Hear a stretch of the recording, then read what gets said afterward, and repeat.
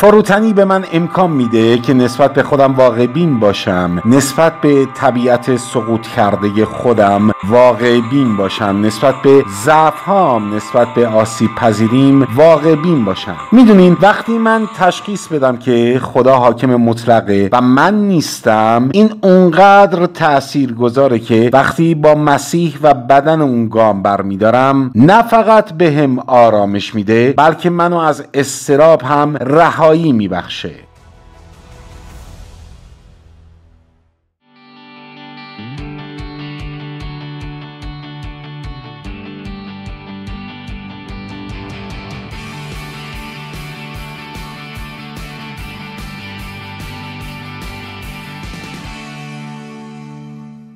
دوست دارم بدونم چه اتفاقی میفته اگه من یه میکروفون دستم بگیرم و در راهروی کلیسا راه برم و بپرسم فروتنی چیه؟ می‌دونم این شوخی رو درباره فروتنی شنیدین که میگه مردم به فروتنی خودشون مغرورن. ولی حقیقت اینه که امروز ما اونقدر بر سر درک و حتی استفاده از این کلمه کشمکش داریم که افراد معمولی اصلا نمی‌دونن معنی اون واقعا چیه. چه برسه به اینکه بخوان انجامش بدن. من دارم درباره اعضای کلیساها حرف می‌زنم اما یه قاعده کلی وجود داره. می‌خوام پیشا پیش بهتون کمک کنم. اگه شخصی فکر می‌کنی که فروتنه پس نیست. متوجه شدید؟ این قاعده کلیه. اگه شخصی فکر می‌کنه که فروتنه پس نیست. بعضیا فکر می‌کنن اگر شخصی ساکت خجالتیه یا خودش رو پایین میاره پس آقا یا خانومی فروتنه. زیاده روی بعدی اینه که وقتی کسی رو می‌بینیم که غیر قابل کنترله و روکه و پر حرارته فکر می‌کنیم که تبل تو خالی و متکبره. اما تعریف کتاب مقدس از فروتنی مبرا از این تعاریف انسانی یا درک انسانیه. با درک تعریف کتاب مقدسی فروتنی متوجه خواهید شد که خیلی ساده تر از اونیه که فکر می‌کنید. واقعا هست. می‌خوام درک خودم رو از تعریف کتاب مقدسی فروتنی براتون بگم. معنیش اینه که بفهمیم خدا کیه و من کیم. در ارتباط با خدا و با دیگران. ساده نیست؟ معنیش اینه که بفهمم خدا کیه و من کیم در ارتباط با خدا و دیگران. به همین سادگی. ولی این در عمل چه شکلیه؟ وقتی من تشخیص بدم که خدا حاکم مطلقه و من نیستم وقتی تشخیص بدم که خدا کنترل امور رو به دست داره نه من. وقتی تشخیص بدم که اون خداونده و من نیستم که اون استاده و من نیستم این اونقدر تأثیر گذاره که نه فقط وقتی با مسیح و بدن اون گام برمیدارم به هم آرامش میده بلکه منو از استراب هم خلاص می‌کنه. همونطور که در آیه هفت گفته. یحیای تعمید دهنده که پسرخالی زمینی عیسی بود احتمالا بهترین تعریف رو داده و کسی نمی‌تونه از این بهتر بگه. من که قطعا نمی‌تونم. اون اینطور تعریفش کرده. اون گفت میباید که او افسوده شود و من ناقص کردم من نمی‌تونم بهتر از اینو بگم. امروز بسیاری در خدمت هستن که این تعریف یحیای تعمید دهنده رو معکوس کردند. اونا دارن افسون میشن و عیسی داره به پس زمینه رونده میشه. ولی در این تعریف که میگه می باید که او افسوده شود و من ناقص کردم. یه پروسه ای وجود داره. عزیزان بذارید در حضور خدا و در حضور خانوادم و دوستانی که خیلی وقت منو می‌شناسم بهتون شهادت بدم که هرچقدر بیشتر با مسیح راه میرم کمتر به خودم توجه می‌کنم و بیشتر به اون توجه می‌کنم. هرچقدر بیشتر با مسیح راه میرم مسیح بزرگتر میشه و من کوچیکتر میشم. اگر این پروسه در زندگی ایمانداران اتفاق نیفته یعنی در پروسه رشد روحانیشون مشکل عمیقی وجود داره. به عبارت دیگه رشد روحانی شما باز داشته شده. حالا بذارید هشداری بهتون بدم. من با افراد زیادی ملاقات کردم که با تعریف من موافقن و با چیزی که تا الان گفتم موافقن ولی در عمل فروتنی براشون بسیار سخته. می‌دونید راحته که تعریف رو درست ارائه بدیم. ولی در عمل فروتن بودن بدون قوت و کار روح القدس در ما خیلی سخته. آمین. شخصی می‌گفت اینکه خودت رو خوب بشناسی مستلزم اینه که کمتر به خودت بها بدی. از این جمله خوشم میاد. یه مدت به این فکر کنید. اینکه خودت رو خوب بشناسی مستلزم اینه که کمتر به خودت بها بدی. عزیزان این درست برعکس و مخالف همه چیزاییه که فرهنگ ما و نظام آموزشی و سیستم تحصیلی و رسانه ها دارن در تعریفشون از عزت نفس به ما القا می‌کنن. فروتنی به من امکان میده که نسبت به خودم واقع بین باشم. نسبت به طبیعت سقوط کرده خودم واقع بین باشم. نسبت به ضعف هم واقع بین باشم و نسبت به آسیب پذیریم واقع بین باشم و همچنین نسبت به بزرگی خدای خودم واقع بین باشم. آمین. عزیزان این چیزیه که در طول سالها از کلام خدا یاد گرفتم. نصیحت کردن صحیح کتاب مقدسی نیاز به شهامت داره. ولی با خوشی پذیرفتن اون نصیحت نیاز به فروتنی زیادی داره. و حالا ازتون می‌خوام که با هم بریم به اول پتروس باب پنج آیات یک تا هفت. جایی که پتروس اولا از همه استدعا می‌کنه از همه ایمانداران که فروتنی پیشه کنن. ولی اول از رهبران شروع می‌کنه بعد میره سراغ جوانان در کلیسا و بعد میره سراغ کل کلیسا. من که خودم از مشایخ هستم و شاهد بر رنج های مسیح و شریک جلالی که آشکار خواهد شد مشایخ را در میان شما پند می دهم گله خدا را که به دست شما سپرده شده است شبانی و نظارت کنید. اما نه به اجبار بلکه با میل و رغبت. آنگونه که خدا می خواهد و نه برای منافع نامشروع بلکه با عشق و علاقه. نه آنکه بر کسانی که به دست شما سپرده شدند سروری کنید بلکه برای گله نمونه باشید. تا چون رئیس شبانان ظهور کند تاج جلال غیرفانی را دریافت کنید. ای جوانان شما نیز تسلیم مشایخ باشید. همگی در رفتارتان با یکدیگر فروتنی را بر کمر ببندید. زیرا خدا در برابر متکبران میستد اما فروتنان را فیض میبخشد. پس خیشتن را زیر دست نیرومند خدا فروتن سازید تا در زمان مناسب سرفرازتان سازد. همه نگرانی های خود را به او بسپارید زیرا او به فکر شماست. می‌تونید بشینید لطفا. دلیلی وجود داره که پتروس از رهبران شروع می‌کنه و بعد به جماعت کلیسا می‌رسه و با جوانان مردان و زنان جوان پسران و دختران جوان صحبت می‌کنه. این پیغام برای همه است. چون پتروس عقیده داره که فروتنی با مشاهده به دست میاد نه آموزش. با مشاهده به دست میاد نه آموزش. برای همینه که به ما بر طبق نظم و اولویت بندی صحبت می‌کنه. اول با کسانی که در موقعیت رهبری هستند شروع می‌کنه و بعد با بقیه افراد صحبت می‌کنه. اول رهبری پدران در منزل که کاهن و شبان خانوادهشون هستند و رهبران کلیسا و بعد دوما میره سراغ افراد جوان و بعد نهایتا سراغ همه. همیشه در هر متنی از کلام یک آیه و یا یک جمله کلیدی وجود داره. یک جمله بنیادین که کل اون قسمت روی اون بنا شده و اینجا هم مستثنا نیست. آیات پنج و شش. همگی در رفتارتان با یکدیگر فروتنی را بر کمر بندید. این قلب این آیاته. این هسته مرکزی و سنگ بنای کل این بخشه. در واقع اگه بتونین و سعی کنید از تخیلتون استفاده کنین و فروتنی رو مثل یک ردا تجسم کنید. ردایی که قرار اون رو بپوشید و اون ردا از سر تا پای شما رو میپوشونه. این ردای فروتنی هر کلمه ای رو که به زبون میارین میپوشونه. این ردای فروتنی هر فعالیتی رو که انجام میدین میپوشونه. این ردای فروتنی هر تصمیمی که می‌گیرین رو میپوشونه. چه بزرگ باشه چه کوچیک. این ردای فروتنی همه سنجیدنهای شما رو میپوشونه.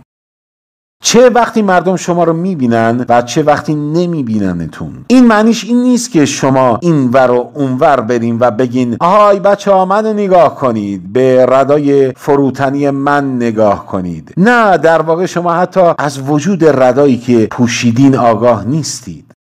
وقتی کارهای روزانهتون رو انجام میدین دائما این ردا رو بر تن دارید. به عبارت دیگه اون میشه عضوی از شما و شما حتی از وجودش آگاه نیستید. این ردا باید توسط شبانان پوشیده بشه. این ردا باید توسط رهبران کلیسا پوشیده بشه. این ردا باید توسط معلمین کتاب مقدس پوشیده بشه. این ردا باید توسط معلمین کانون شادی پوشیده بشه. این ردا باید توسط مادر و پدر در خونه پوشیده بشه. این ردا باید توسط هر کسی که در مقام رهبری قرار داره پوشیده بشه. چرا؟ چرا؟ چون چه بدونین چه ندونین مردم به شما نگاه می‌کنن و از شما الگو برداری می‌کنن. چه قبول بکنین چه نکنین این حقیقتیه که وجود داره. درست مثل گوسفندی که چوپان رو دنبال می‌کنه بچه ها الگوی والدین رو دنبال می‌کنن. درست مثل گوسفندی که چوپان رو دنبال می‌کنه مردم از رهبرانشون تقلید می‌کنن. درست مثل گوسفند که برای غذاش و برای نیازهاش به چوپان وابسته است. شبانان هم باید مردم رو از کلام و با کلام خدا تغذیه کنند نه هیچ چیز دیگه ای. و به همین دلیل پتروس در آیه چهار از عیسی به عنوان شبان اعظم یاد می‌کنه در دلم هیچ شکی ندارم زمانی که پتروس این کلمات رو با هدایت روح القدس روی کاغذ می آورد به ملاقات ویژه‌ای که بعد از رستاخیز در کنار دریاچه جلیل با عیسی داشت فکر می کرد ای شمعون آیا مرا دوست می داری؟ گوسفندان مرا خوراک بده پتروس من دوست داری؟ به گوسفندان من غذا بده بهش نگفت پتروس گوسفندان منو سرگرم کن. یا پتروس گوسفندان منو قلقلک بده. پتروس گوسفندان منو راضی کن. اون نگفت با حرفای قشنگ زدن گوسفندای منو خوشحال کن. نه. اون گفت پتروس گوسفندای منو خوراک بده. اونا گوسفندای ما نیستن گوسفندان عیسی هستند و فقط یک خوراک هست که ارزش این نام رو داره و اون خوراک کلام خداست. کلامی که امروز خیلی از شبانان انجیلی به الهامی بودنش شک پیدا کردن فقط یه چیز هست که رهبرانی که خودشون رو شاگردان حقیقی عیسی مینامن باید انجام بدن. اونا فقط باید از شبان اعظم پیروی کنن از شبان اعظم اطاعت کنن و فقط غذایی رو که از طرف شبان اعظم میاد توضیح کنن. دلیل اینکه کلیساهایی که قبلا به کتاب مقدس ایمان داشتن راهشون رو گم کردن اینه که رهبران اونها از پیروی از شبان اعظم دست کشیدن. به آیات دو و سه نگاه کنید. کسانی که به شبان اعظم خدمت می‌کنن اون رو برای نفع شخصی انجام نمیدن. اون رو برای مقبولیت شخصی انجام نمیدن اون رو برای عظمت خودشون انجام نمیدن اون رو برای قدرت خودشون انجام نمیدن بلکه اون رو بر اساس خاندگی عمیقشون برای پیروی و اطاعت از شبان اعظم انجام میدن. درست مثل والدین که شبانان خونه هستند حفاظت می‌کنن خوراک میدن و بهترین ها رو برای بچه هاشون فراهم می‌کنن. رهبری برای رهبران کلیسا هم به همین شکله. ما باید از مردم در مقابل دشمن جانشون محافظت کنیم. حتی اگه بعضی از اون دشمنان ردای مذهبی پوشیده باشن. لطفا درست گوش کنید. فقط زمانی که ما با ایمان به گوسفندان چه پیر و چه جوان از کلام خدا خوراک میدیم اونها در زمان سختی و در زمان راحتی در اوقات سخت و در اوقات نه چندان سخت پایداری می‌کنن چه جهان ازشون متنفر باشه چه نباشه. این تنها راهیه که اونها استوار میمونن اون وقتی که میشه حقیقتا از شبان اعظم انتظار داشت. وقتی که برمیگرده تاج جاودانی رو به ما بده. اشتباه نکنین. هر شبانی که بخواد گرایشات فرهنگی رو ارضا کنه هر رهبری که بخواد خودش رو با مد جامعه وفق بده هر رهبری که دنبال تایید انسان هاست اونها در اون روز عظیم شرمسار خواهند شد و مدتش یکی دو دقیقه نیست یکی دو روز نیست یکی دو سال نیست بلکه ابدیه مگر اینکه توبه کنند تصویری که پتروس در اینجا در ذهن داره تصویر یک ژنرال ارتش رومه یادتونه که روم جهان رو فتح کرد و خیلی از جنرالهاش شرق و غرب رو فتح کردند. امپراتوری روم بزرگ و وسیع بود و وقتی این جنرال ها می رفتن و نبردها رو رهبری می کردن و پیروز می شدم و برمیگشتم به روم و در خیابون اصلی رژه می رفتم و جشن می گرفتن ممکن بود لباسشون به خاطر جنگ آغشته به خون باشه ممکن بود به خاطر جنگ زخمی شده باشن ممکن بود در جنگ آسیب دیده باشن ممکن بود حتی لنگ لنگان در رژه راه برن و با این حال تاجی از گل روی سرشون گذاشته می‌شد. اکثر اوقات اون تاج گل از نوع همیشه سبز بود. پس یکم زمان بیشتری دوام می آورد ولی نه برای همیشه. پژمرده می‌شد. اون تاج آرزوها از بین میره. ولی گوش کنید تاجی که عیسی برای رهبرانش در نظر داره اینطور نیست. جایی میخوندم که وقتی فیلیپ مقدونی که اتفاقا پدر اسکندر کبیر بود در 336 قبل از میلاد مرد تابوتش با تاجی از گلهای طلایی در هم پیچیده و زیبایی احاطه شده بود. و اون تاج طلایی به شکل یک گل وحشی و یک پروانه ساخته شده بود. ولی حتی اون تاج هم وقتی زمانی برسه که تمام گنج های زمینی میسوزن و از بین میرن نابود میشه. ولی تاج جاودانی که عیسی برای خادمین وفادارش در نظر داره اینطور نیست. لطفا دقت کنید. برای رهبرانی که از الگوی شبان اعظم گوسفندان تبعیت می‌کنن برای رهبرانی که در حضور شبان اعظم فروتن میشن برای رهبرانی که به دنبال سرمشق گرفتن از شبان اعظم هستند برای رهبرانی که از دنبال کردن قرایزشون امتناع می‌کنن برای رهبرانی که از همرنگ شدن با جماعت امتناع می‌کنن برای رهبرانی که همه جلال رو به خدا میدن حتی وقتی غم و اندوه قسمت خودشون میشه اونها بزرگترین تاج رو به دست میارن که هرگز رنگ نمیبازه اون تاج برای رهبران وفادار تهیه شده می‌دونین اون چیه؟ می‌دونید اون چیه؟ اونها از زبان خود عیسی خواهند شنید. آفرین آفرین ای خادم نیکو. این همون تاجه. ولی ما انقدر ذهنیت سکولار پیدا کردیم که همه چیزمون مربوط به این دنیاست. همه چیزمون همینجاست. و همه چیزمون حالاست. زندگی رویاییتون اینجاست. زندگی رویاییتون حالاست. و ما بهشت رو یادمون رفته. و این برای کلیسا غمانگیزه.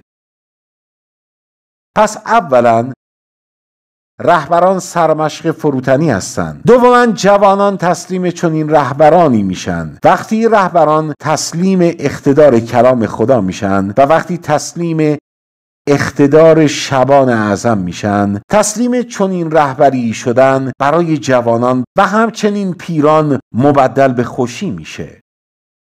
عزیزان بذارید چیزی بهتون بگم. من در طول سالها اشخاصی رو در خدمت ملاقات کردم که به شدت با استعداد بودن یعنی از هر انگشتشون یه استعداد بیرون می اومد ولی وقتی از تسلیم شدن به اقتدار روحانی خداپسندی که تسلیم اقتدار کلام خدا بود سر باز زدن دیر یا زود از هم پاشیدن. بچه هایی که والدینشون رو محبت و عزت و احترام می‌کنن وقتی بزرگ شدن افراد بالغی میشن که خدا و کلام خدا رو محبت و عزت و احترام می‌کنن. یه چیزی است که می‌خوام بگم. می‌دونم که هزاران شبان در سراسر دنیا هزاران رهبر کلیسا در سراسر جهان هستن که سازمان ما رو دنبال می‌کنن و خدا رو به خاطر شما شکر می‌کنم. می‌خوام همیشه موجب تشویق شما باشم.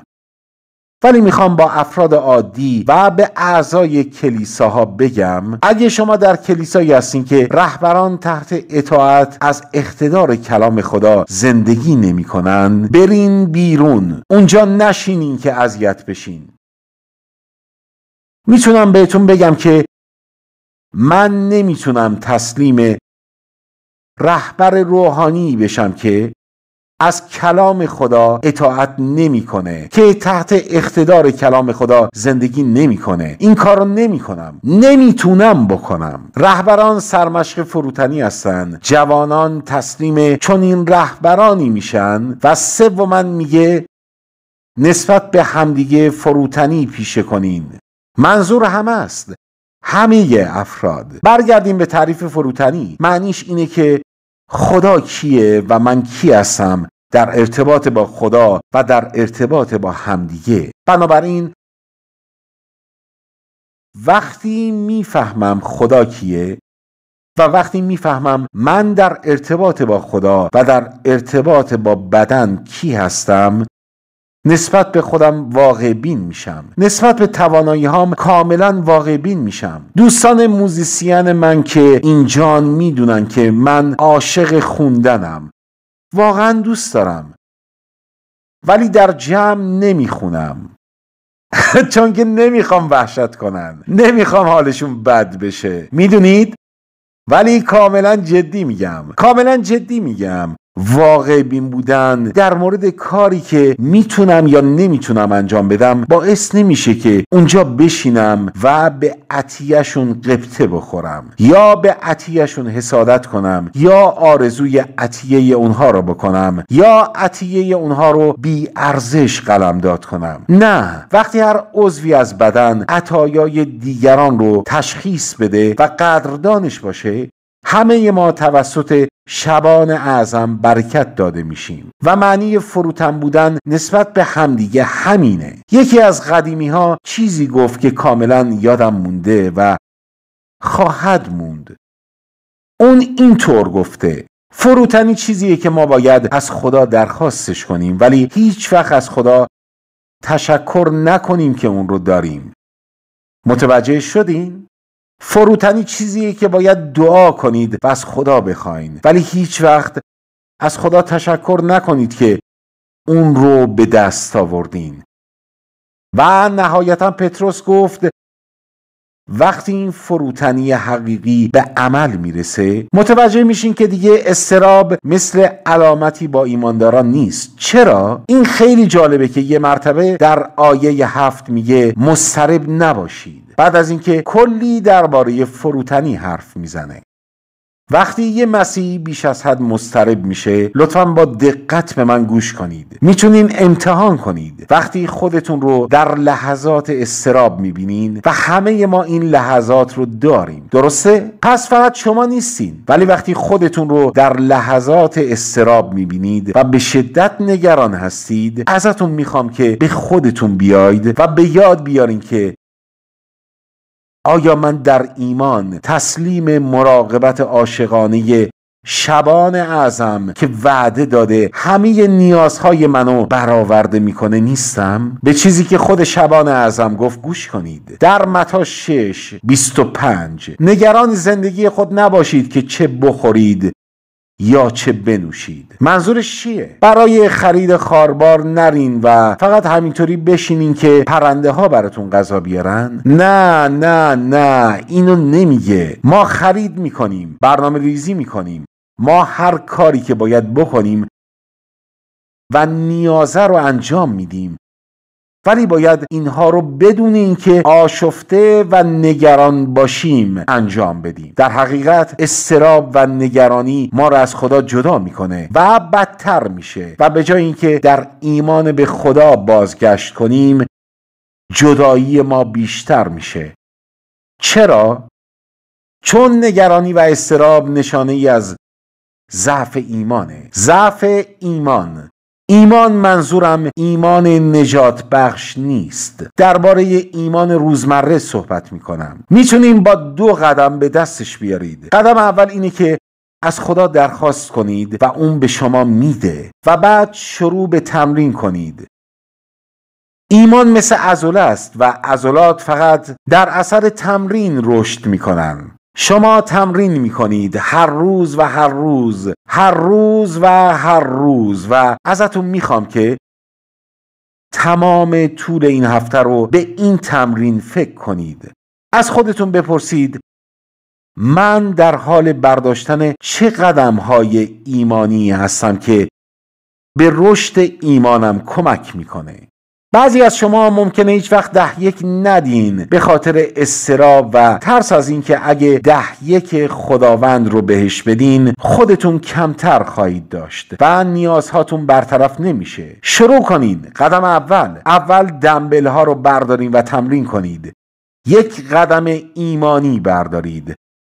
و بعضی از شما براتون سخته که در مورد بچه هاتون یا خانوادتون به خداوند اعتماد کنید. بعضی از شما براتون سخته که در شغلتون به خداوند اعتماد کنید. هر چی که هست خودتون می‌دونین در کدوم قسمته. من اینجا نیستم که شما رو قضاوت کنم. من اینجام که شما رو تشویق کنم. قدم اول ایمان رو همین هفته بردارین و هر روز از خودتون بپرسید من چه قدم ایمانی برداشتم؟ برای اینکه بتونم در ایمان رشد کنم. شگفت زده میشید. شگفت زده میشید. تا چند هفته دیگه خواهید آمد و خواهید گفت ممنونم. من شروع به برداشتن قدم های ایمان کردم. و خدا بهش احترام گذاشت. آمین. اعلام مشتاقانه حقیقتی که سازش نمی کند هدایت به سوی راه با دکتر مایکل یوسف.